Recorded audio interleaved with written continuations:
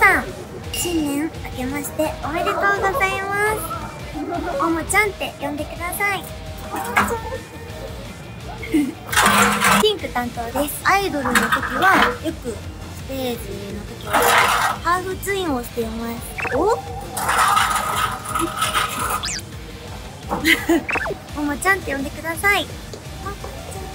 あー。難しい。もう一回やろう。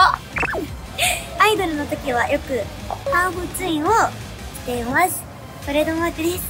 好きな食べ物はラーメンお寿司お肉です。ラーメンが一番好き。YouTube でやりたいことはドッキリを私されたことが本当になくて仕掛けるのとかは得意なんですけどだからドッキリされたいです。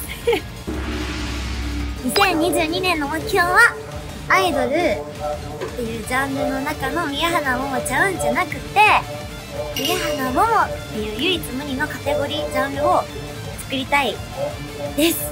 私の憧れのアイドルさんが渡辺真由さん渡辺美幸さん鈴木愛理さんあとも声優さんなんですけど奥田優衣さんで唯一無二って感じで生まれてない私もそういうアイドルになりたいなって思います。2022年ちゃった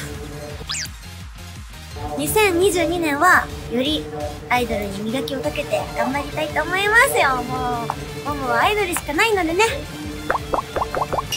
ということで、最後まで見ててありがとうございました。よし。最後だからねなんかしよう。ハッピーどんな願いはきっとなんで叶うよ。もっともっと触れたいよ。溢れる想いが届きますように。ワン。チャンネル登録高評価コメントよろしくお願いします。